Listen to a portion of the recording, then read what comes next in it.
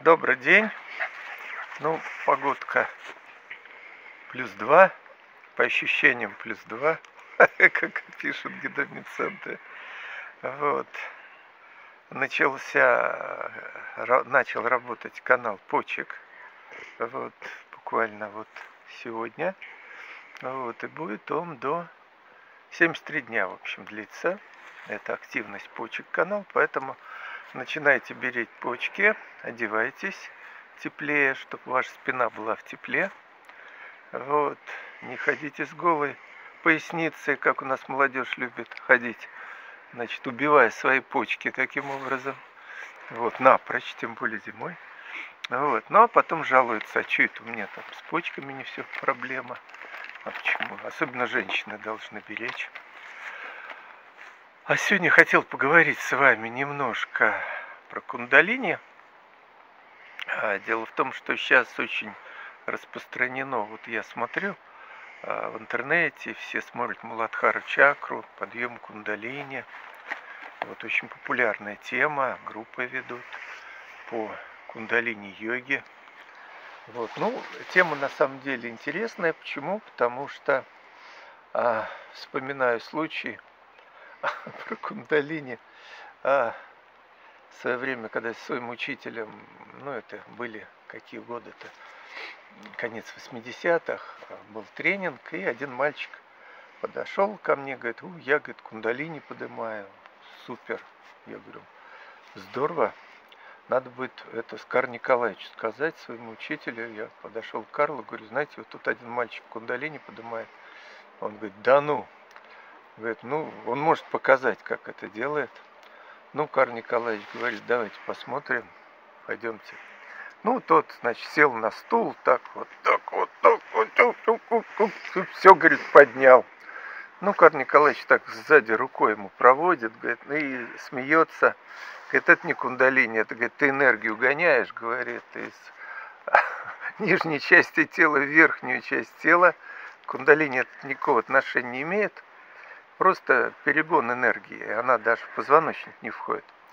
Вот, то есть, ну, на самом деле, вот э, современные вот эти все курсы э, кундалини-йога, они занимаются вот этой прогонкой энергии по телу. Кундалини это никакого отношения не имеет.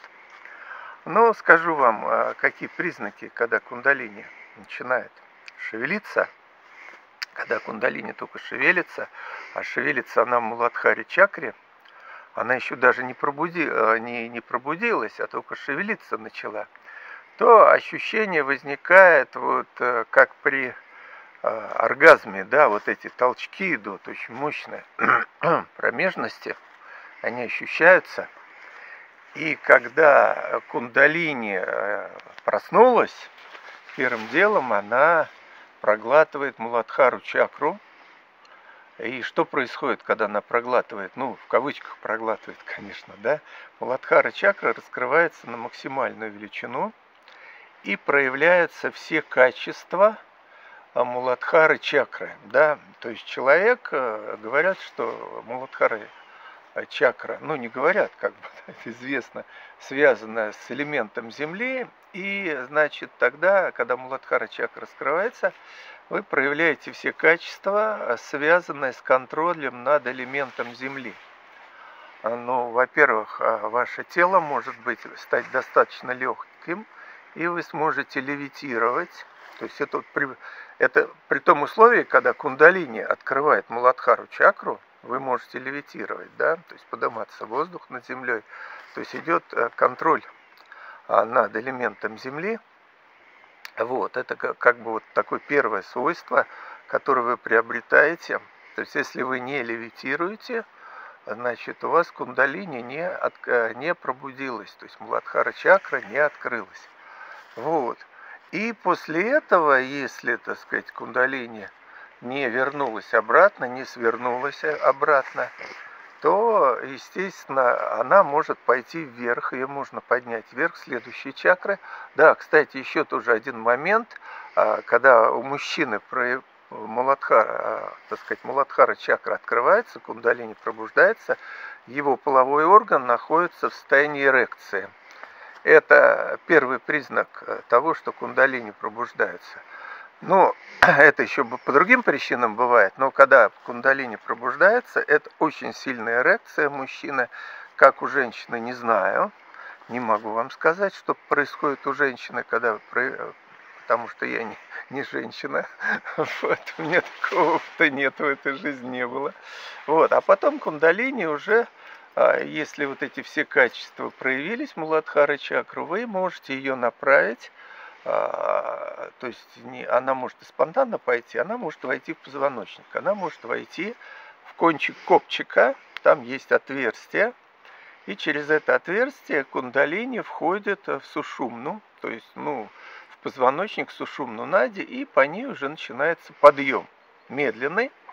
Подъем идет толчками, это не просто она так хлоп, и до макушки пролетела. Так только энергия пролетает. Кундалини поднимается медленно, толчками, а, причем а, соответствующее ощущение возникает. И возникает ощущение, что вот огромная-огромная энергия начинает наполнять ваш позвоночник, она просто его распирает, то есть, а, и, ну, ну и так далее, да, то есть потихонечку поднимается вверх и поглощает следующую чакру, Сватхистану чакру, Садхистана чакра, когда поглощается кундалини, она максимально открывается, и человек приобретает контроль над элементом воды. Вот, то есть, э, ну и все те а, сверхспособности, которые связаны со сватхистаной чакрой, а, они проявляются. Да? То есть по проявлениям сверхспособностей можно определить, поднялась кундалини у вас до сватхистаны чакры или не поднялась, ну и так далее.